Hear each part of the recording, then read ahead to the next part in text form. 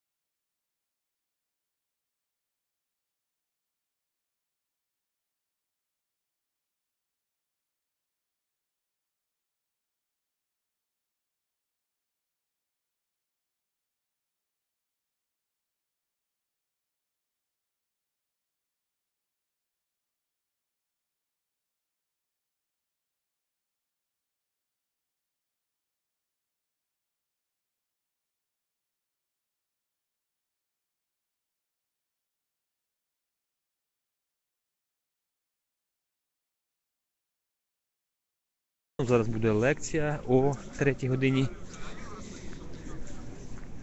За кілька хвилин я вам скажу її назву. Ну, якщо ви слідкуєте за сьогоднішніми подіями, то сьогодні багато в Києві тітушок. На підходах до Майдану з сторони Бісарабки. Там наші кореспонденти працювали на кількох камерах. Е, спро- Пробували навіть бути присутніми при роздачі грошей. Досить такий цікавий репортаж був з прихованою камерою.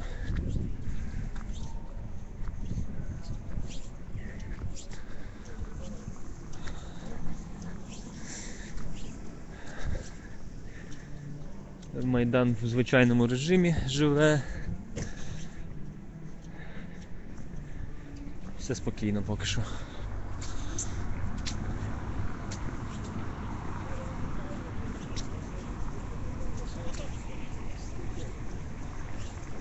Тобто, щоб ви зрозуміли, на, цій, на цьому каналі прес-клуб ми будемо робити в основному лекції, прес-конференції, щось таке, е, що вимагає так би, статичності і там, де такі більш довші спічі. Ну, звичайно, якщо не буде якихось активних подій, які вимагатимуть більшої кількості камер.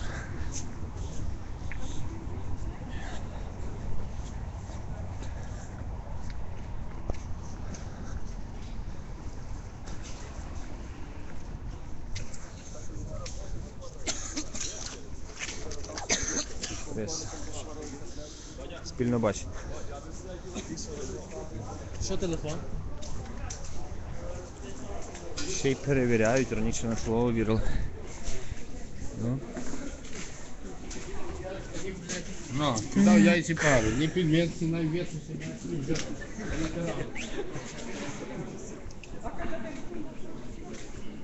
Очевидно, вже розпочався.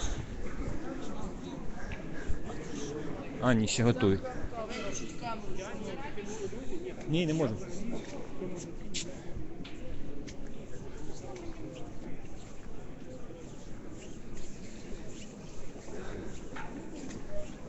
Зараз вам скажу. А, вчорашнє. А, Спільно бачення. Так, так, так, я бачу. Добрий день, товариство. Можна перевіряю, чи добре чути? Як зв'язок цей, все добре, так? Отже, відкритий університет Майдану вітає вас на черговому нашому лекційному дні. Сьогодні в нас дві лекції. Вони не будуть одна за одною, тобто будете слідкувати за оголошенням о котрій годині і що. А, і перший наш лектор е, розповість нам про етапи формування Євромайдану. Я надам мікрофон і лектор сама себе представить, тому що напевно треба робити якусь відну, щоб ви розуміли про що йдеться і взагалі чому саме така тема. І я тут трошки ще пограюся з звуком, і ми почнемо вже ну починаємо лекцію, і далі вже ви почнете слухати. Нагадую про те, що краще переведіть ваші телефони в віброрежим, хай воно вам вібрує, але не заважає іншим слухати лектора. Отже, будь ласка, слово. Добрий день, панове. Мене звуть Аня Довбах. Я, е, ну якщо казати, що я займаюся самоорганізацією різними спільнотами років 15 вже, то це правда. Е, Крім того, є книжечка, яку за най, найкласніші, найцікавіші запитання сьогодні я навіть одному з вас подарую, і є вона в бібліотеці Майдану.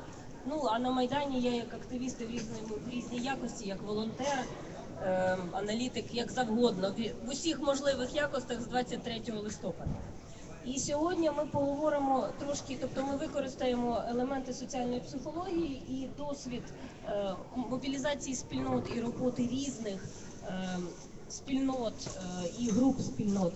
е, Для того, щоб проаналізувати, що відбувається з Євромайданом, і чи є це окрема спільнота, і чи є наша самоорганізація засобом чи метою. І це дуже важливий момент, особливо зараз, коли начебто кожен з нас думає, а яка все-таки ціль, для чого ми тут стоїмо, для чого ми робимо те, що ми тут робимо. Якщо мене не чути, то можна зробити голос трошки голосніше. Нормально чути? Я перепрошую, що трошки трошки.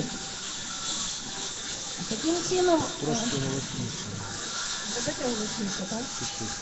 Давайте голосніше. Бо якщо вони.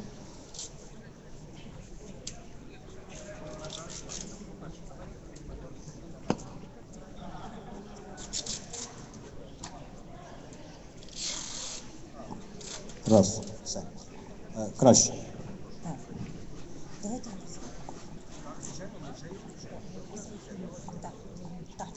Добре, і ми почнемо е, з того з вами, що я спитаю, от якщо казати про спільнот, ну тобто ми будемо говорити сьогодні про те, яким чином самоорганізовуються спільноти.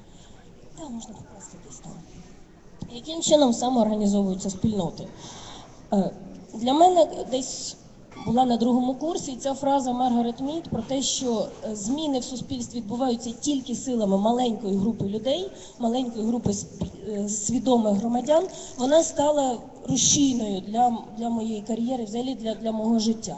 Тому що до того моє уявлення було напевне, як і у кожного з нас, е, хто виріс в радянському союзі, що зміни десь плануються згори, а ми якось на них реагуємо, пристосовуємося, виживаємо в них.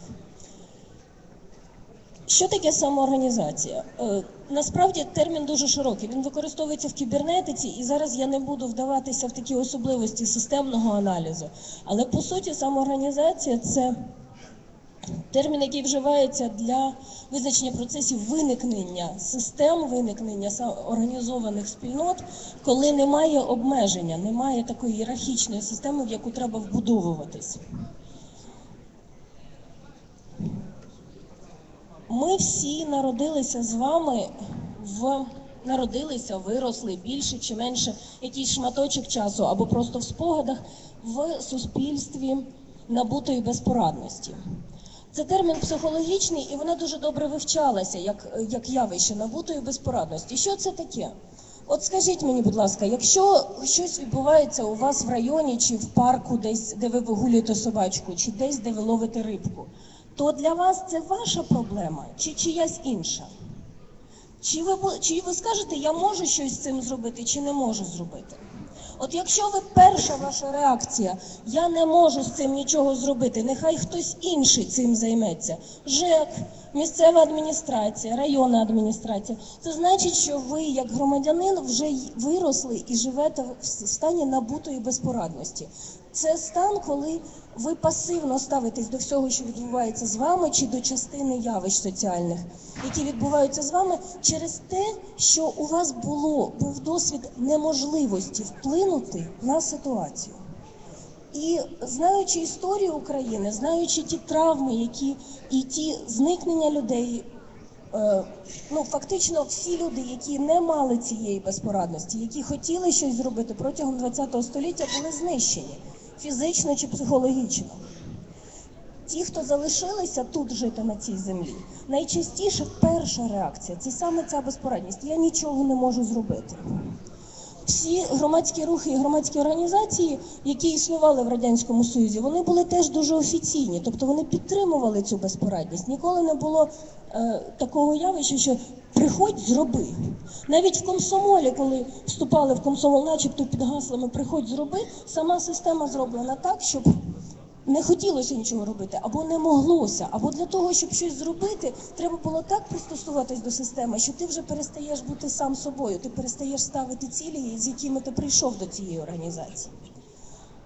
І наша набута безпорадність вона проявляється в усьому. І я, я, нама- я пропоную вам згадати, як ви ставились до політики, до політиків, до Верховної Ради в вересні минулого року. Я думаю, що більшість із громадян України ставились до, до чогось зовнішнього.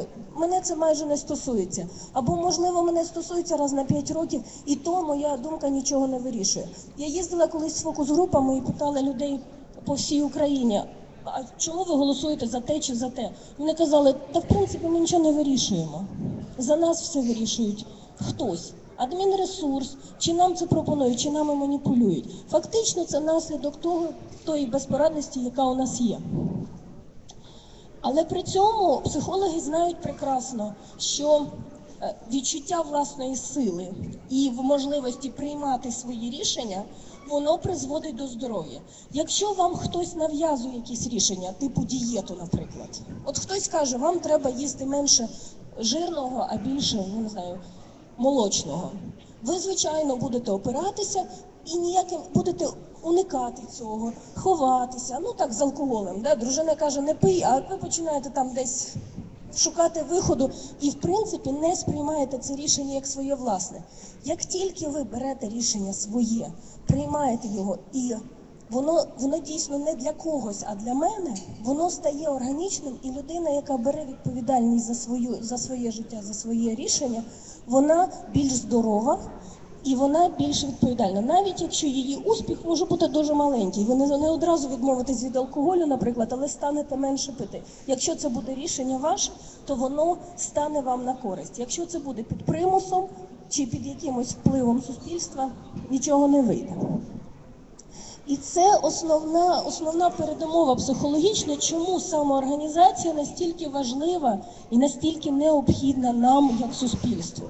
Тому що, живучи в безпорадності, ми ніяким чином з неї не вийдемо, якщо самі не почнемо брати відповідальність за певні соціальні явища в щоденному житті. І я зараз не кажу про Євромайдан і цю територію. Я кажу про наше щоденне життя, знаєте, як кажуть зараз в мирному житті.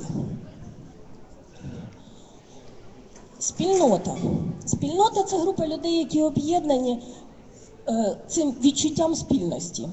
Дивне таке визначення, да, спільнота відчуття спільності. Але це група людей, які відчувають щось спільне.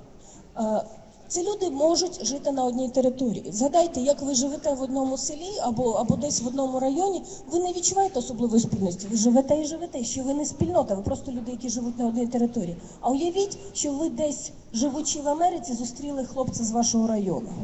І ви одразу розумієте, що ви утворюєте цю спільноту, тому що у вас не тільки є географія, але ще є якась ідентичність. Земляцтво як ідентичність. Спільнота може бути об'єднаною також спільністю способу життя. Якщо хтось якимось чином має професію спільну, знаєте, спільноти професійні. Можуть бути, тому що у нас спільний, спільна освіта, спільний спосіб життя, спільний графік. Спільноти можуть бути об'єднані спільними інтересами та потребами, якщо нам всім разом зараз щось одне конкретно потрібне. Крім того, дуже важливий і найважливіший фактор для спільноти це самоідентифікація, тобто те, що ми разом спільно відносимо од- себе до якоїсь групи.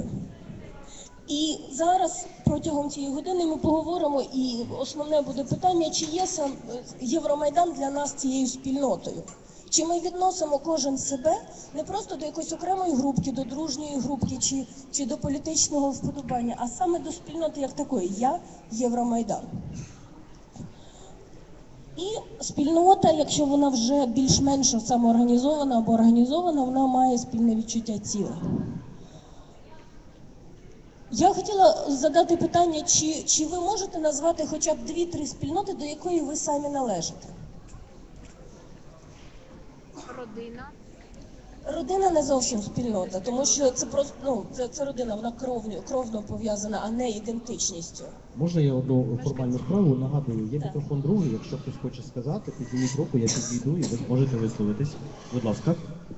Соціальна група офіцерська. Спільнота офіцерів. Так, офі, офіцери може бути. Офіцери це, це спільнота, офіцери, офіцери, там що таке. Ну, наприклад, я належу до такої. Так, професійна група може бути. Афганці це спільнота, наприклад. Може бути спільнота рибалок. Може бути. Цілком. Єдине, що е, спільнота вона утворюється, коли починають читати спільні ем, журнали, коли починають цікавитись чимось, і спільнота буде самоорганізована, мобілізована за певних умов. І ми зараз поговоримо, за яких умов вона самоорганізується. Які ще до яких ви ще відноситесь спільнот? Ну давайте я може скажу, тому що я точно знаю, що підходить. Я належу до спільноти, яка називається Об'єднання співвласників багатоквартирного будинку. Точно. Оце І я добре власне я їх будую. Це мій Дуже добра, дуже добрий приклад. Якщо ми живемо просто в цьому будинку, ми, ми ще не є спільнотою. Тому що у нас немає ідентичності, у нас немає спільного розуміння цілей. Ми просто на цій території живемо. А як тільки починається будуватися якесь, якась самоорганізація, ми починаємо усвідомлювати свою належність до цієї спільноти. Товариство, ще варіанти? Які ще спільноти? Ну насправді цікаве питання. Зараз можна порефлексувати. По національному признаку. Національні спільноти так може бути. Давайте не забуваємо про мікрофон. Національні спільноти, так ви сказали? Гаразд, національні відзнака. Ще що?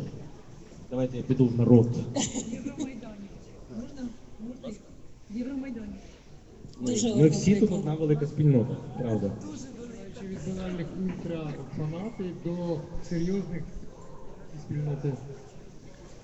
Ультрасекс спільнота Так. і християнські спільноти об'єднані Християнські конфесійно. спільноти. При цьому кожна конфесія це окрема спільнота, але інколи.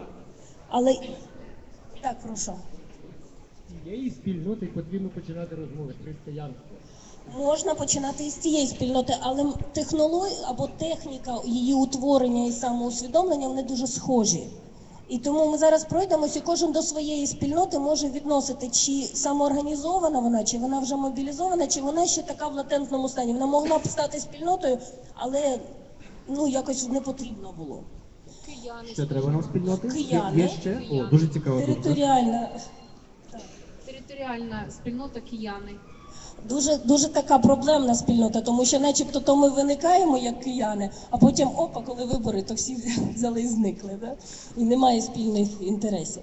Ну що, підемо далі. Ми, ми більш-менш зрозуміли, що таке спільнота, а тепер думаємо, яким чином вона може самоорганізовуватись, від чого залежить, чому вона раптом от жили, жили в будинку і потім організувалися. Або вигулювали, вигулювали своїх собачок в парку. І з якої такої радості в цьому, в цьому парку може виникнути самоорганізована спільнота захисників тварин?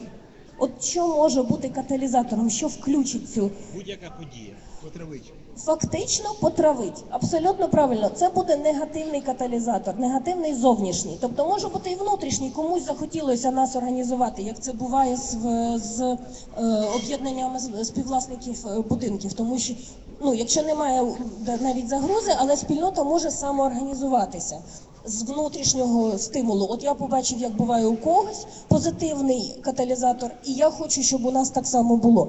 Але найчастіше в нашій в нашому суспільстві безпорадності, коли треба тільки великий зовнішній примус для того, щоб самоорганізуватися і десь злізти з свого дивана, то каталізатор найчастіше негативний.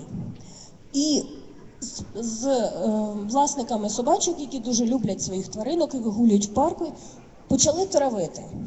Тобто будь-яка собаку, якщо відпускаєш, вона з'їдає будь-що і вона вже помирає. Що відбувається далі? От каталізатор виник. Далі відбувається діалог. між всередині цієї спільноти. Тобто я боюсь за свою собаку, і моя сусідка боїться за свою собаку, і хтось там з сусіднього будинку боїться за свою собаку. І цей діалог може бути пасивним. Тобто, фактично, ми можемо кожен між собою там посварився. Цей діалог може бути в більшій спільноті. Я написала в Фейсбук і пожалілася, що в моєму парку теж травлять, і я зрозуміла, що в усіх решта парках це травлять. А інколи це може бути і найкраща самоорганізація буде, якщо я прийшла і намагаюся зібрати всіх, хто тут власники тварин, щоб захистити саме наших тваринок саме в цьому парку. І я можу це зробити оголошенням на, на дереві, чи обдзвоном, чи стояти на парку і зустрічати кожного. І тут починається оцей діалог на рівні спільноти, тобто визначення наших спільних інтересів. Даному випадку з собаками у нас дуже чіткий спільний інтерес, але навіть тут дуже важко визначитись, який він буде. Ми хочемо, щоб їх не труїли, зрозуміло, але що це може бути? Це може бути покарання ЖЕКу або відловлювання того, хто труїть, або прийняття законопроєкту про те, що його має відловлювати міліція. Тобто ем, список і, і варіантів, як ми можемо діяти, які ми цілі можемо в даному випадку ставити, дуже великий. І оцей діалог це і є основне, основна задача самоорганізації. От якщо ми цей діалог проходимо дуже конструктивно, то тоді ця наша спільнота буде робочою і ефективною не тільки для маленької дії, а й в подальшому. Далі ми визначаємо спільну дію. Бачите середній квадратик, я напевно навіть можу показати отут. Якщо є зовнішня підтримка, інколи це добре. Якщо вже самоорганізовані спільноти захисників тварини, вони знають, які оголошення повісити і як відловлювати того, хто вбиває наших собачок. І якщо ми пройшли е, етап спільних дій і зробили якусь акцію, захистили наших тварин або не змогли захистити їх, навіть якщо негативний ефект, він все одно дає результати. Він дає результати на індивідуальному рівні. Ми про це трошки далі поговоримо. І на соціа... впливає на соціальні зміни. І фактично, якщо ми спільнотою е, рухалися в якомусь е, напрямі змін, то ми до них приходимо більше вони чи менше. А тут е, Цікавий, цікавий текст, і в принципі його можна знайти. Знову ж таки, ця книжка є на сайті, і вона доступна. Ми можемо пройтися по всьому етапу діалогу, тому що по суті кожна спільнота буде проходити визначення спільного бачення. Це обов'язково. Тобто, спочатку ми усвідомлюємо проблему, потім ми е, розуміємо, хто у нас лідер. Тобто, той, хто написав оголошення, то і є лідер насправді. Він не має бути якимось таким супервідомим. Це просто людина, яка перша не витримала, або людина, якій більше, більше енергії, більше сил готова витратити на це. Тобто визначення якихось лідерів. Потім нам треба досягти ясності, з чим ми боремось і для чого ми тут стоїмо, або для чого ми це будемо робити. Це дуже довгий процес. Всі ці квадратики це може бути в мирний час, це може бути місяць дискусій. Потім ми, ми співвідносимо індивідуальні цілі наші, тому що ми не можемо сказати, ми всі тут за одне. У кожного з нас є свій інтерес, правильно? У кожного з нас є, є якась своя мета, своя ціль. І є якась спільна ціль. І нам треба домовитись, як ми узгоджуємо ці спільні інтереси. І потім головне, що ми визначаємо, це бачення майбутнього. Як ми хочемо його бачити в короткостроковій перспективі і в довгостроковій. Ясно, що кожен раз ми можемо повертатися знову від цього назад, як тільки ми, якщо ми не визначили індивідуальні інтереси, а тільки думаємо про них. От ми, ми собі думаємо, що опозиція має якийсь інтерес, а вони про це не сказали нам. А ми, ми собі думаємо, що вони б мали зробити те-то, те-то. І як тільки ми виходимо на спільне бачення, оп, а воно не виходить. Немає якого цього спільного бачення. І нам доводиться повертатися назад. Стоп, а давайте кожен скаже, що він хоче від цієї ситуації, що він хоче від спільної дії. Потім ми йдемо, звичайно, на оцінку існуючої ситуації. Тобто, з чим ми маємо на е, з чим ми маємо е, справу? Індивідуальні проблемні зони чи більш системні проблеми? Ми виходимо далі на розробку задач. І тут так само непростий консенсус, яким чином діяти. І я повернусь потім до Євромайдану, як- який проходив цей весь шлях. І ми всі можемо згадати ці моменти, коли правильно чи неправильно, хто хто яка дія є провокаторською, яка дія є конструктивною, яка дія є ефективною. Тобто ми начебто маємо спільну мету, а кожна дія має бути обговорена спільнотою. Потім ми визначаємо параметри дії, плануємо ці дії і починаємо діяти. Коли ми діємо, ми підключаємо всі можливі ресурси, які у нас є. І так відбувається і з тими собачниками, які захищають, тому що вони одразу знайдуть, хто з дизайнерів їх знайомих може зробити їм листівочку, хто з журналістів може прийти і зробити матеріал. Правильно? Якби ви захищали свої свій парк і своїх собачок, ви б так і зробили. За які кошти можна надрукувати якісь там запрошення, за які кошти і кому можна подзвонити, хто може підключити свої індивідуальні ресурси. Тобто, фактично підключаються всі можливі ресурси, підключаються всі можливі зв'язки, потім іде дія. А отут найчастіше е, група, яка не сприймає довгострокових цілей, а бачить тільки короткі, дуже ну таке буває. На жаль, Е, пройшла дія. Ми відчули оце піднесення, а потім ми знову не зібралися і не підвели підсумки.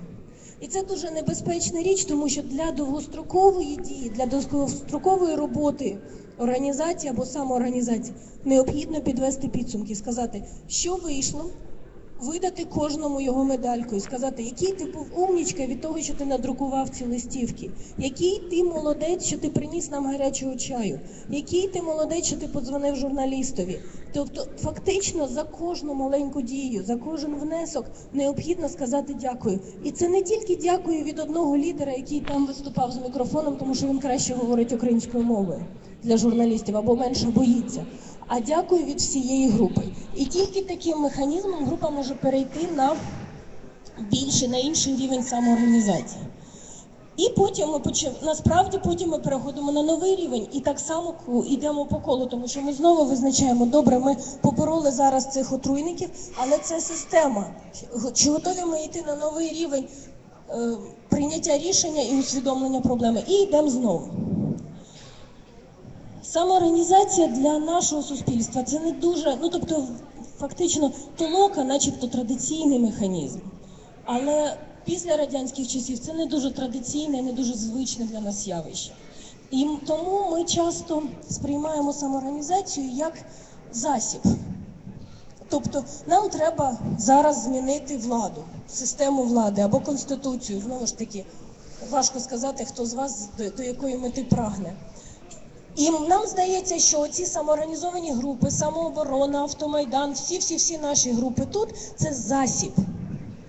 Але по суті, участь в самоорганізації це вже мета. Вона змінює людину.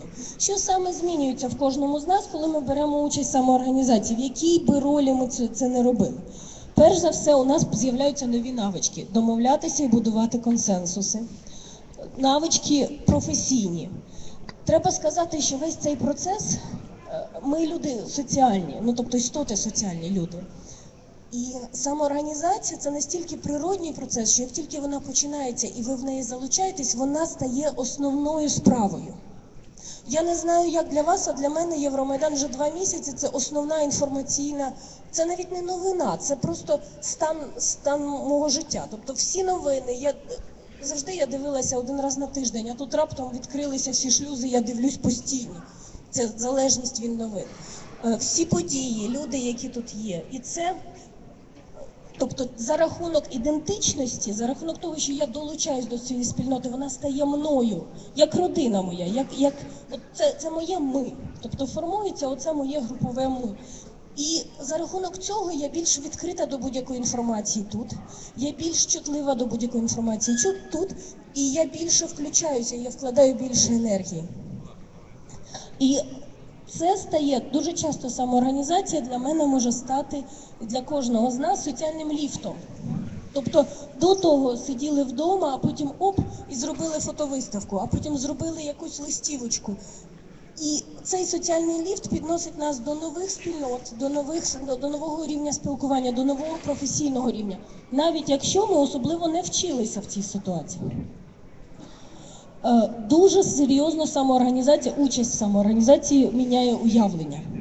Тобто вона міняє знання, стосунки між людьми, систему стосунків. Вона може міняти індивідуальну норму. Наприклад, багато хто в Фейсбуку писав, а тепер я переходжу на українську мову.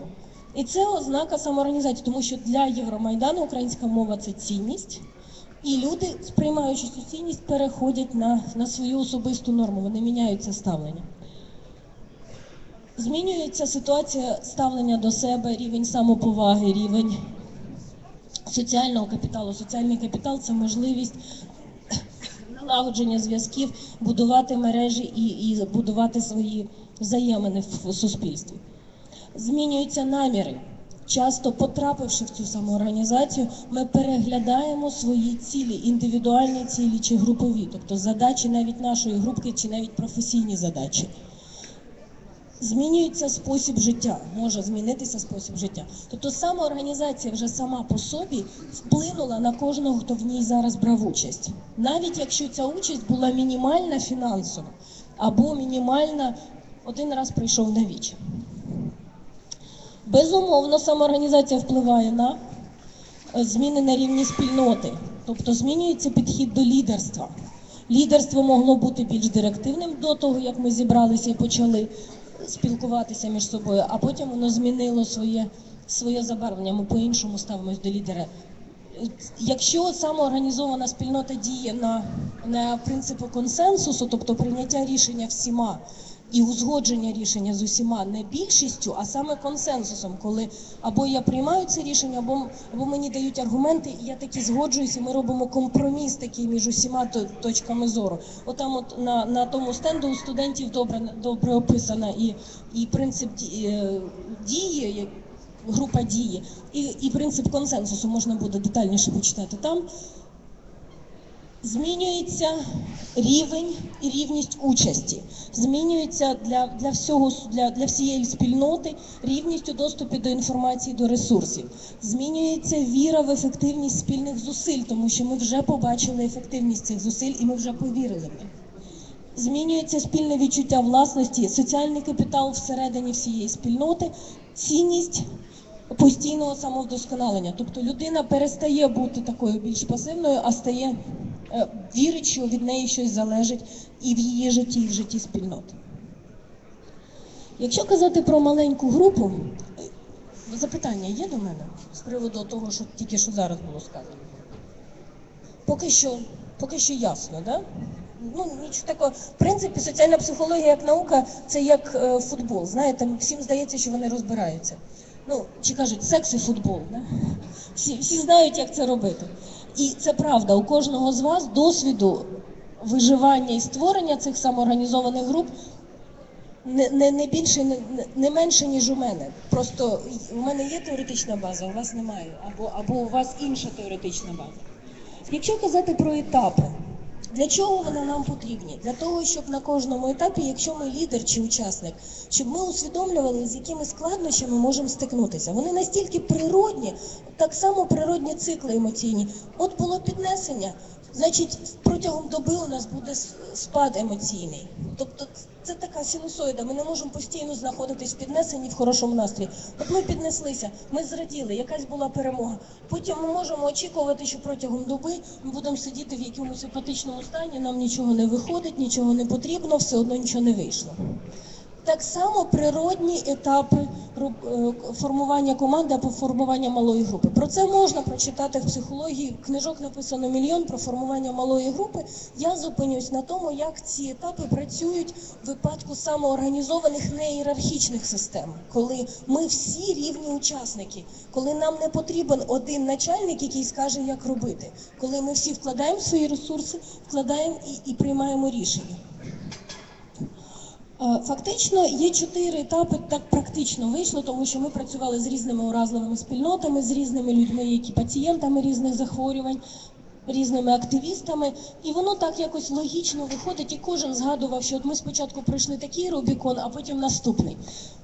Зараз я попрошу вас, е, прослухавши кожен із етапів, назвати із нашого спільної спільноти, із нашої спільної самоорганізації Євромайданівської якісь ознаки, які позначили для вас проходження цього етапу. Давайте так, щоб нам воно краще за- засвоювалось, тому що у нас є спільна наша з вами спільнота Євромайдан, і ми можемо бачити, як воно, як ми проходили ці етапи. І так, ініціативна група. Формується актив групи, тобто формується як така, що вона вже щось там існує. Ще не знаємо як. Інформується вся спільнота, яка може бути залучена, що щось там існує, якась така ініціативна група чи група дій. Формується спільне бачення, заради чого тут стоять, або заради чого вони зібралися. Але це ще дуже таке абстрактне, заради всього хорошого проти всього поганого. Е, методи, необхідні регулярні зустрічі. На жаль, ніякі електронні засоби інформації не замінять нам живого спілкування і бачення один одного і обговорення. Регулярні зустрічі в безпечному місці. Для груп, які працюють, таких самоорганізованих пацієнтських груп чи груп захисту ем, тих самих тварин чи захисту від забудови, це ключове питання знайти, де зустрітися, де нам буде безпечно, де, де міліція нас не схапає. Ми проводимо оцінку аналіз ситуації, знову ж таки йдемо по тому колу. Спільне планування, формуємо ідентичність, тобто ми маємо якось вже називатися. От коли ми формуємось, саме тоді ми виробляємо назву. Як ми називаємося? Як ми позначаємо один одного і пізнаємо один одного. Якщо ця спільнота або група досить велика, то ми маємо один одного пізнавати за якимось значочком. І це буде знак нашої ідентичності. Е, І може бути, якщо це така група, яка працює в мирний час, то там може бути спільний відпочинок, і пацієнтські групи, і групи інших активістів дуже дуже часто формуються через спільний відпочинок. І там можуть бути акції е, для підйому бойового духу, як розклеювання листівок, як бойкотна акція, навіть якщо вона не дає економічного ефекту, я не знаю, чи він є. Але головне, що відбувається, це люди долучаються до спільної акції, і вони вже щось разом зробили. На ефект найголовніший на цьому етапі для формування самої групи. Так, Ми шукаємо зараз якісь знайомі речі на Майдані, чи ми йдемо далі? ми зараз подивимося ще трошки про ініціативну групу. Е, які проблеми? Нестабільність мотивації групи. Начебто всі щось хочуть, але там десь дитина захворіла, там десь собачка, щось сталося, тобто незрозуміло, хочу, не хочу, наче хочу, але виявляється, що тільки двоє сильно хочуть, а всі решта розбіглися. Обмежене бачення цілей, дуже маленьке, не глобальне, а комусь хочеться глобального зміни світу бігом за один раз. Відсутність зв'язку з іншими ініціативами. Тобто ми тут прийшли, а що на сусідній вулиці робиться, невідомо і не знаємо. І проблема ще одна нерозуміння контексту дій, тобто в якому ми знаходимося контексті, чи можемо, чи може наша дія бути використана кимось з політиків, чи кимось з економістів, чи може хтось з нас є ну, підкупленим правом, все що завгодно може бути. І завищення амбіцій лідера. Це найчастіша проблема, чому розпадаються оці ще, ще недосформовані групи. Тому що хтось каже: О, я знайшов, де я буду начальником. І тепер всі слухайтесь мене. І те, що як це можна підтримувати, це змінювати культуру лідерства, примушувати лідера бути підзвітним і взагалі просто сидіти тихенько і слухати нас. Навички спільної оцінки планування, формування довіри і навичок спільних дій і формування ідентичності. І тепер давайте задаємо, в який момент для Євромайдану цей етап був пройдений? Чи він був пройдений? У кого є якісь роздуми про це? Давайте От візьміть мікрофончик і скажіть, як ви собі думаєте? Створення громадської організації під назвою, вона вначалі була Народна Рада, а потім її поміняли, на жаль, на худшу назву. Ви Скажіть, яка була потім? Вначалі Народна Рада, Я не слідкувала за sorry. тоді громадська рада. Ми знову вернемося до переліку. А, ну, організація називалася Народна організація. Перше, 20 грудня була створена і правильна назва Народна організація, не громадська організація, народна. А потім або не домислили, або спецслужби поняли, що ми зовсім іншу структуру будуємо, нову державу будуємо. І вернулися до громадської організації. Тобто от широкого розуміння, Дякую. Тобто для вас створення громадської організації народна ра- організація, народ, створення народної організації Народна Рада 20 грудня.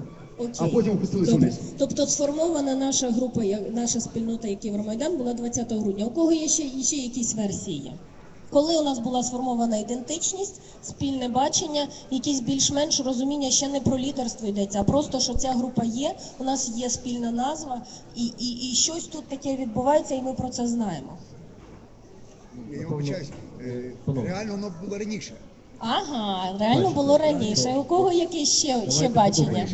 Вам, мені здається, що тут підска- підказки. Лектор зараз вам дає підказки, він говорить, Ні, що це- назва. Це насправді якось спільне там, е, відчуття, і ми зараз робимо таке дослідження, але, але кількісне ми запустимо трошки пізніше, тоді кожен зможе взяти участь і сказати, які. Реально було е, 20, перше виступили маси, тисячі масок, 24 листопада. Можливо, 24 листопада, можливо, 30 листопада при розгоні, тобто коли групка стояла, а потім розігнали. Ще якась, можливо, 1 грудня, ще якась була позиція бачення, так? Хтось ще щось скаже? Так, що ми задумні. Добре, дякую. Тобто, фактично, дивіться, цей етап моє бачення, що це закінчилось десь 30 листопада, 1 грудня. Чому? Тому що по суті до того це була малесенька ініціативна група, яка ще дуже важко проговорювала свої цілі. Тобто цілі були десь там Європа, але вони не були саме тими, якими лишилися зараз. І плюс е, форми дії не були визначені. Тобто ми просто стоїмо. Я думаю, що ще треба звернути увагу на те, що згадаємо, був Майдан і була Європейська площа. І там і там були схожі гасла, або інші їх кому- комунікували різні е, речники. Так, і люди приходили, хтось підтримував політичні напрямки, хтось підтримував студентів. Тобто момент, коли це стало одним спільним, пригадуємо, так? Якого це числа сталося? 1 грудня. Ні, не 1 Пригадуєте, не коли нарешті перестала існувати окрема європейська площа, на якій 20 там чи 26 чи були одні танці і перестали існувати окремо собі студенти, які 30 числа е, Ну це якраз е, бачите е, вписаність в контекст, ну, тобто нерозуміння, контексту і інших організацій. Тобто спочатку 24-го, е, точніше, з 24 з 22 по 24 був майдан студентський, і потім політичний 24-го утворився на європейській площі, і потім узгодили, тобто фактично дві ініціативні групи узгодили між собою таке видимість спільного бачення. Правильно, але по суті можна сказати, що для всього світу і для нас з вами стрічечка, прапорець як ознака нашої ідентичності, на- належності нас до спільного ми, да, до відчуття це свої. Зараз з майдану просять не одягати стрічечки, і мені дуже сумно від цього, тому що по суті зрозуміло, безпека і, і життя людей важливіші, це безумовно. Але по суті, ідучи містом і зустрівши стрічечку, я розумію, що я довіряю цій людині дещо більше, ніж всім, хто навколо без стрічечок. І це вже ознака того, що ми маємо спільну якусь от групу, до якої ми належимо. Спільна ідентичність. Товариство, хто стоїть? Будь ласка, сідайте, є крісла, які стоять, і ось Отут от є стільці, прошу. які можна взяти, так і сісти. Тому, будь ласка, ми старалися, щоб ви не стояли, щоб вам було комфортно. Е, беріть, не соромтесь. Так, перепрошую. Дякую дуже. Що далі відбувається? Наступний етап це структурування. Кожна група проходить етап визначення, хто є хто всередині. Тобто ми вже зібралися, ми такі. А які ми? А що у нас відбувається всередині? Цей етап е, в звичайних групах, таких самоорганізованих групах, активістських групах, він проходить місяці. Це може бути 6 місяців, 8, 9 місяців, коли група фактично на зовнішній світ майже нічого корисного не може зробити. І половина групи починає кричати: Та що ж ви оце сваритесь між собою? Нам же ж треба діло робити. У нас же ж такі амбітні плани. Ми ж бігом бігом маємо бігти і досягати тих величезних соціальних змін, які мають відбутися в нашому житті. Але по суті, поки, поки група сама собою не структурується, особливо якщо це не ієрархічне структурування, коли ми не хочемо мати якогось пана над собою, навіть вибраного між нами. А коли ми кожен маємо мати свою роль, свою функцію, яка буде рівним чином достойна і рівним чином поцінована всією групою. Правильно? Якщо це самоорганізація, то кожен вніс свій внесок і має бути поцінований за цей внесок. І кожен вніс своє бачення для прийняття рішення і має бути, і його бачення має бути почуто, навіть якщо він не дуже добре говорить. Під час структурування е, наша задача і задача всіх висловити е, консенсус з приводу цілей задач. Не буває такого, щоб один сказав, є у нас оця мета, і всі підключилися. Найкращий спосіб, якщо це маленька група дій, 5-15 людей, це почути кожного. Тобто кожен має сформулювати, як він бачить ключову задачу, ключовий пріоритет. Ми виписуємо це все на папірець і намагаємось довго узгодити, чи воно вкладається, що буде далі, що буде перше, що буде пріоритетно по часу, що буде можливо для нас досягти. І оце є структурування нашого бачення. Тобто ми бачили якусь світлу мету світлого світлих змін, але тут зараз нам треба визначити чіткі задачі, близенькі, що ми можемо зараз зробити. Далі, що ми можемо протягом року зробити? Що ми можемо зробити на рівні своєї маленької громади села, а що ми можемо зробити на рівні країни, якщо можемо, якщо у нас є такі ресурси? Розподіл ролей і функцій. Про це говорилося. Кожна роль важлива. Той, хто приніс сюди два бутерброди, не менш важливий, ніж той, хто тут живе. Інша справа, що той, хто тут живе, вкладає більше ресурсу свого особистого, той, хто приніс щось, вкладає трошки менше ресурсу. Але кожен має розуміти, що його роль почута, побачена і важлива. І саме в цей момент ми виходимо на зовнішній світ і, можемо сказати, ми такі, від нас може говорити ця людина і так далі. Тобто вже визначено навіть ролі речників і тих, хто можуть представляти нас в певному зовнішньому світі. Які методи? По суті, формується норма спілкування. І тут дуже дивна штука. Навіть якщо наша, наша ініціативна група виросла з дружньої компанії, з якою ми завжди були знайомі, або з однокласників, нова група, нові цілі сформують нову норму спілкування. Ми прекрасно пам'ятаємо, я думаю, що тут всі можуть згадати, скільки було конфліктів з приводу хто не скаче, той москаль. Прекрасний слоган, який спочатку дуже смішив, потім багато хто з груп висловили своє бачення цінностей. Те, що цінність Євромайдану не, е, не міжнаціональна рознь, правильно? І от це один з прикладів, як в нашій спі- спільноті Євромайданівській формувалася спільна норма. Тобто, так, є багато різних думок, але по суті, оце, оця примовочка зникла з е, вживання. Чому? Тому що частина нашої спільноти побачила в ній стигматизацію. Ми проти стигми, ми проти звинувачення один одного в якихось національних розбіжностях чи соціальних. Ми тут рівні є. Правильно? І тому на угоду е, тій частині спільноти досягнутий консенсус з приводу цієї норми. Тобто норма стала такою. Ми е, вітаємо всі національні групи, всі етнічні групи на Євромайдані. Правильно? Правильно. Так само формувалися і інші норми. Так само формувалися майже всі слогани, які якась група висувала, якусь цінність висувала. Група починала її обробляти, і хтось казав: ні, почекайте, це наша норма чи не наша. І кожен для себе відчував, чи це наша норма, чи вона така євромайданівська чи ні. І тут використовується через те, що в маленькій групі найчастіше це довгі дискусії. Як ми ставимось до жіночої і чоловічої роботи, до гендерних питань, до всього. Тобто, фактично, кожна група має розібратися з кожною з цінностей і норм, які існують в цій групі. І тільки тоді ці норми стають нашими спільними. Не може бути якихось якихось. Абстрактних загальнолюдських правил і норм спілкування, які ми просто взяли до себе. Ми маємо між собою домовитись, як ми це робимо. Чи ми вживаємо алкоголь на загальних зустрічах, чи ні? Бу- Було питання для Євромайдану вживання алкоголю? Обговорювалося? Було. Не вживаємо.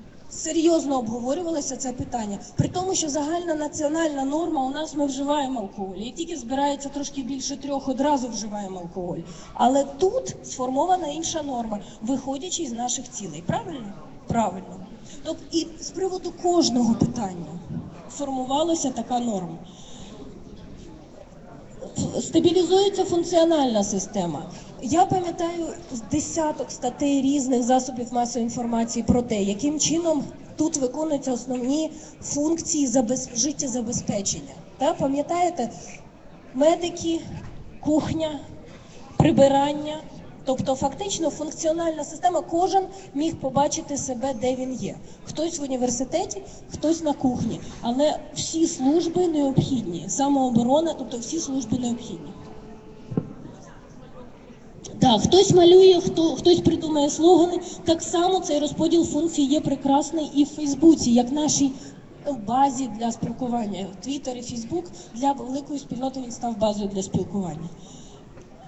Системи вибору. Отут у нас дуже важка проблема з Євромайданом, але з маленькими групами тут трошки легше. Тобто ми формуємо систему, хто поїде від нас на якісь збори, хто буде говорити на пресу, хто поїде в владу, хто підписує від нас документ. Це можуть бути все чотири різні людини. Не обов'язково нам треба один хтось. Хтось пише краще документ, тобто в даному випадку теж функціонально. Ти краще пишеш, пиши, ти краще говориш, говори. Тільки говори і пиши те, що ми разом домовились. І це принцип самоорганізованої спільноти. І ми формуємо якийсь операційний план. Якщо казати про проблеми, то я вже їх багато назвала: розподіл значимої і незначимої роботи. Так? Хто, хтось там на телевізорі, а хтось там десь туалети миє. І нам потрібно в самоорганізованій спільноті для того, щоб вона довго жила, нам треба уникати оцієї ієрархізації функцій. Є проблема узурпації ресурсів або влади. Вона є в будь-яких самоорганізованих групах. Обов'язково. І нам просто треба про неї чітко знати і знати, як ми подолаємо це через норму. Є брак врівноважених структур, тобто в якійсь системі більше, а щось ніхто не хоче робити. Або вона постійно міняється, тобто волонтери туди прибігли, потім в інший бік прибігли, і якась функція провисає. Що ми можемо зробити як спеціалісти, і багато хто з лідерів і спеціалістів це робить тут на Євромайдані. І для груп можна надати підтримку в позитивному досвіді інших. Солідарність тут говорила часто і багато, і це дуже правильно. І так само були інші групи. В тренінгі з- організаційного розвитку в мирному житті це дуже допомагає, коли ми разом сідаємо, розбираємо, що у нас вийшло що не вийшло в нашій групі. Е, Є дуже важливо е, спільний аналіз досягнень і помилок. Саме через оці постійні зібрання і аналіз, що вийшло, який результат, як воно працює, ма- має бути основним механізмом рефлексії або усвідомлення. Ну, рефлексії як в дзеркалі, та побачити себе в дзеркалі по-чесному і подивитися, що у нас провисає. Скажіть мені, в, яку, в який момент ви відчули, що ми в цьому етапі цього структурування? Які для вас були значимі події в цей момент? Я трошки прикладів наводила, може у когось ще якісь є думки або. 1 грудня. А 1 грудня це що? Саме масовий організований виступ і не тільки вже євроінтеграція, а зміна системи влади. Так, 1 грудня була оголошена інша ціль, да? тобто яка не висловлювала, ой, яка звучала в думках, але не говорилася зі сцени. Правильно? Ще які були, от, от коли структуровано було. Кажіть.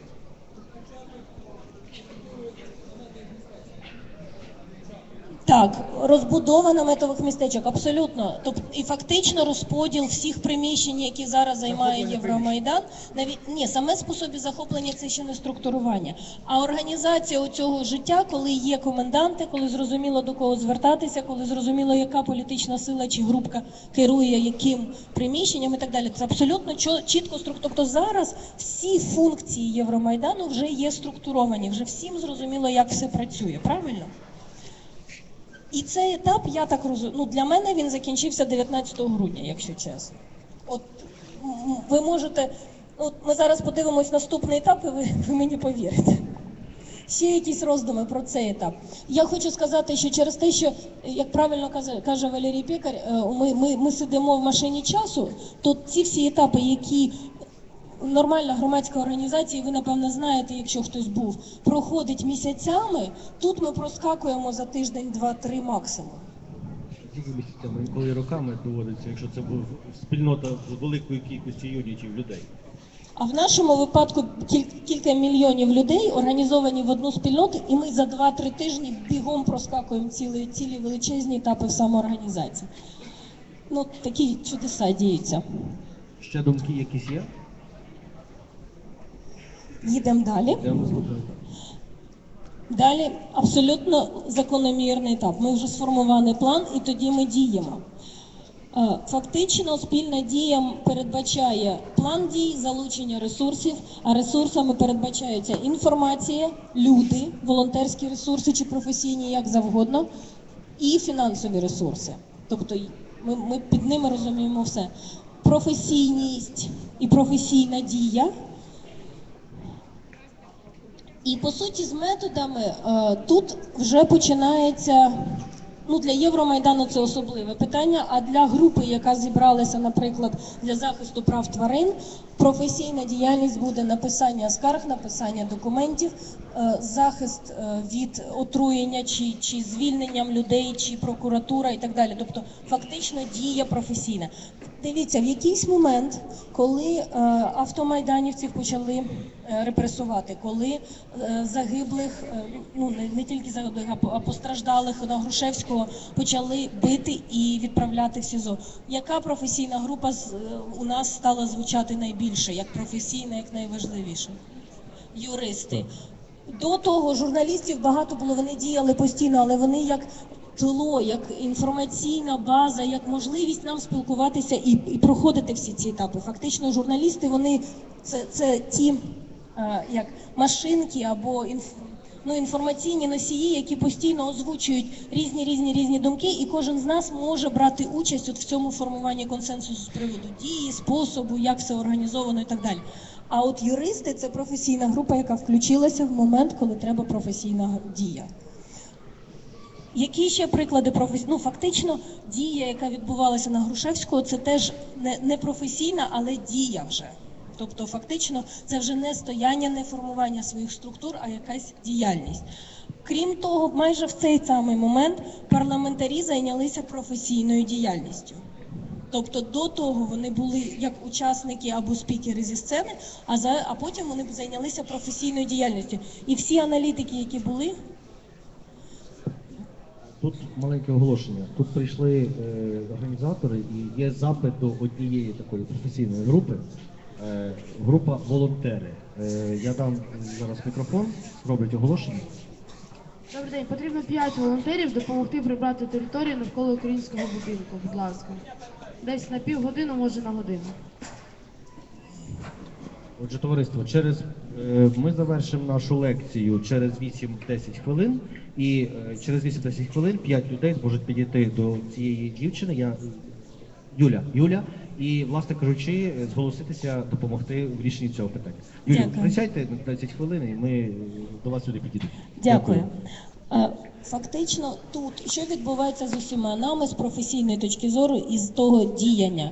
По-перше, от е, заклик до волонтерів, дуже дякую за таке включення. Е, Ми всі вигораємо. Тобто люди, які медики, які прийшли працювати 30 листопада, вже зараз працюють два, два, два місяці. І фактично професійно, по-перше, вони е, ростуть професійно, але їм потрібен новий досвід, і вони вигорають. Ну ефект вигорання, ви знаєте, це коли людина е, професіонал, особливо в соціальних професіях, вже не може витримати такого ступеню болю або проблем соціальних, і вона починає черствіти або замикатися, або уходити в депресію. Тобто вона не може вже виконувати своїх таких відкритих хороших функцій. Дуже багато хто з волонтерів дуже втомився і треба їх заміняти. І їх треба вчити. Вже багато навичок, які тут вироблені самоорганізації, управління, самооборони, де треба навіть навички, які передаються всередині самих самоорганізованих груп. Якщо казати про проблеми, то я кажу про брак вигорання і текучість кадрів, тобто міняється. Про те, що хтось, хто вже вміє це робити, йому хочеться переключитися кудись далі, щоб робити більш е, цілеспрямовані дії, більш з довгою довготривалою перспективою. Сконцентрованість на оперативних планах. Нам легше включитися в прибирання території або в готування бутербродів, ніж подумати, де ми можемо включитися професійно е, на довготривалу перспективу. І часто таке відчуття, що начебто довготривалої немає, а легше отак, от, ну тут, тут щось зробити, те, що при, при ну, звичніше для людини, да? якось занизити свій професійний рівень, тому що тут є дуже багато людей з вищими освітами, дуже багато з іноземними мовами, але тільки е, починаючи, я не пам'ятаю, коли це, це напевно 2-3 тижні тому з'явилася спільнота дуже сильна перекладачів. Для іноземних засобів масової інформації дякуємо Андрію Бондарю за це за, за цю ініціативу.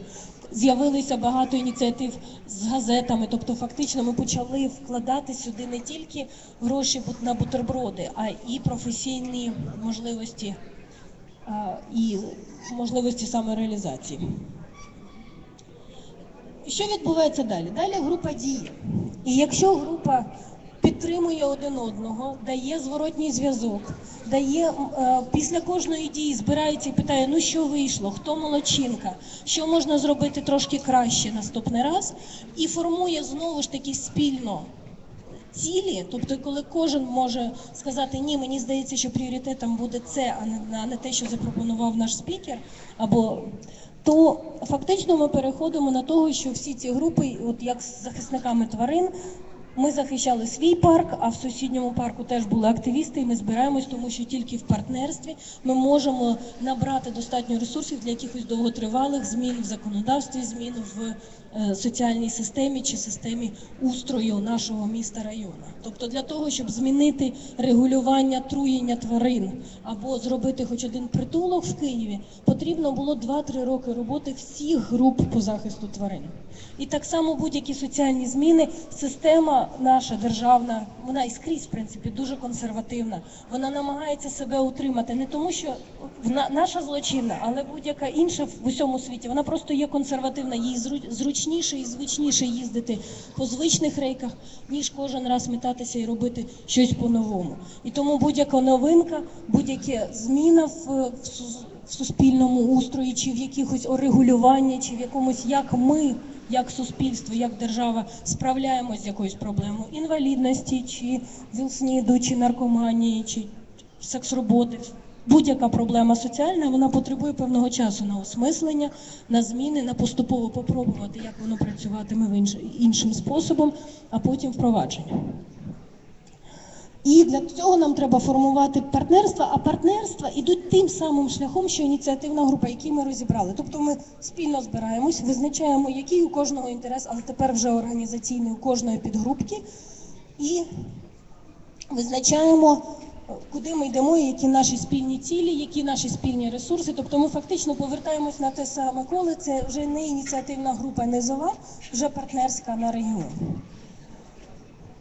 Я повторю те, що ми говорили з самого початку, для того, щоб воно зафіксувалося. З моєї точки зору, але це ми ще перевіримо в е, дослідженні в, в кількісному. Я сподіваюся, ми це зробимо найближчими місяцями, коли пройде оця спекотна і невизначена фаза. Це спільнота. По-перше, це географічна спільнота і це місце, і ми знаємо, де наше безпечне місце. По-друге, це спосіб життя для багатьох він, він дуже сильно змінився. По-третє, це спільна ідентичність, і ми маємо ознаки цієї ідентичності, імена, хештеги. Тобто ми фактично маємо ідентичності в усіх спільнотах скрізь, де ми спілкуємося електронно чи вживу. І це певне бачення цілей, навіть якщо вони не кожен не кожним з нас висловлені, але вони кожним з нас почуті. Але при цьому Євромайдан це і партнерство. І це одне одному не заважає, тому що тут існує 20-30, я навіть не знаю скільки і ще жодна мапа і жодні журналісти не порахували, скільки ініціативних групок і групочок, більших і менших, які діють за принципом самоорганізації, а на спільній території заради спільної мети поєдналися, навіть маючи протилежні по- політичні погляди. Приблизно десь 160 зараз називають точку, що от зараз десь 160 таких ініціатив на Євромайдані. Ну от, тобто, це у нас є спільна для всіх цих підгрупочок е, система комунікації, є формувальна спільної норми, і про це ми вже говорили. Да? Спільне уявлення. Ми тут так робимо, чи ми тут ну, норма не в плані закону, а в плані от уявлення тут пристойно це робити, тут можна так робити, чи тут не можна так робити, тут незручно так робити. Оце соціальна норма, вона так виражається. У нас є система більш-менш налагоджена узгодження цілей і спільних дій, і у нас є більш-менш система представництва. Хоча саме з цим постійно йде пробуксовка, тому що є кілька сфер, в яких ми могли б бути представлені як спільнота, як партнерство, але не завжди представлені рівним чином. Скажімо, у нас є така штука, як вічі і сцена, да? це представлення для нас самих якихось облич, і не завжди там виходить якось всім цим 160 групам брати участь. У нас є громадська рада майдану, яка теж в якийсь момент об'єднала багато, потім почала теж формуватися як таке партнерство, як голос цього партнерства. І є ілюзорні переговори з владою, на які виходять теж певні люди, але вже більш-менш визначена ця штука. І що я хотіла на, наостанок сказати, це дуже важлива річ. Начебто всі ці банальні такі зрозумілі речі, що так ми спільнота, так ми партнерство. Але для нас треба бачити і ту, ту тезу і про те, що Євромайдан не є е, засобом для досягнення якої мети. Він може стати як самоорганізація ціллю. І мені сподобалось, як Бікешкіна зробила два дослідження. Вона казала від майдану табору до майдану Січі. І я би продовжила до майдану держави. І зараз вже всередині цієї кількох групочок є е, багато ініціатив, які дають нам можливість сподіватися, що той спосіб, ті навички самоорганізації, спільного колективного прийняття рішення, небайдужості і е, можливості регулюватися самим, що вони можуть бути нам у нагоді в новому політичному устрою. І я зараз кажу і про форум Євромайданів як можливість такого національного узгодження спільного бачення. Вони теж пройшли дуже цікавий важливий етап від зборів в Харкові і зараз вже тут. Я кажу про цінність самоорганізації, коли в кінці революції помаранчевої 2004 року ми видали е, маленьку брошурочку разом з лівими організаціями самоорганізуємося. Тоді не було зрозуміло, ну як ми досягли мети. У нас є Ющенко, нафіга нам треба щось робити в кожному селі, місті. не- Навіщо нам самоорганізуватися? Але з того часу багато хто вже був змушений самоорганізуватися і боротися проти якихось незаконних дій влади. І тому Ця цінність самоорганізації вже звучить дуже багато в текстах е, і виступах, і в, в словах інтерв'ю різних активістів в пресі. І ще що дуже важливо, що ем, зараз при сучасних інформаційних технологіях, коли ну, якщо у когось з вас є банківська карточка, я впевнена, що ніколи не було так, щоб хтось зміг фальшувати вам банківську карточку. Тобто вас ідентифікують прекрасно і будь-який банкомат, автомат, і ви можете там з неї робити платежі в інтернеті чи прямо там. Зараз інформаційні технології, такі як Фейсбук, дають можливість прочитати текст мільйонам людей, внести в нього правки, сказати свою думку. Тобто, фактично, те, чого не було 917 році, в 848 році, і в усій революції попередні, зараз ми маємо технічні засоби для того, щоб кожен з нас без вибору якихось представників до якихось там рівнів рад, парламентів самостійно прочитав закон, вніс свої правки, проголосував, прийняв консенсусом ці правки, і спокійно той, хто має виконувати, ще й ми його проконтролюємо. І, я дуже рада вітати ту ініціативу it спеціалістів, і про це можна дізнатися більше в it наметі. Вони розробляють цю систему і зараз разом з громадською радою майдану, наскільки я знаю. Тестують можливість колективного прийняття рішення без делегування комусь своїх повноважень. Ліквідна демократія, так. Так? Ну можна називати якась пряма демократія, можна, можна горизонтальна, але Вони називають ліквід. так, так. І по суті, е, це вже натяк на те, що у нас може з'явитися те, чого ніде в світі не було. Там є якийсь досвід в Ісландії, можливість кожному з нас використати свій досвід самоорганізації, який є зараз в нашій волонтерському залученні, в нашій допомозі, в нашій роботі на Євромайдані, в тому, щоб ми побачили і стали впливати на на державну політику на всіх його рівнях, на прийняття рішення на всіх рівнях. Все. Що ж, 16.03. Ми просто молодці. Е, товариство. Е, отже, е, я бачу, є питання. У нас є одна маленька проблемка. Справа в тому, що наші друзі зараз вже повинні почати з наступний екшен, який має відбутись на цьому майданчику. Тому пропозиція така. Аня, Аня, пані Аня зараз буде тут. Я пропоную тим, хто хоче поставити питання, і тим, хто хоче послухати на них відповідь, ви просто зможете підійти до пані Ані ось тут збоку, і вона зможе відповісти.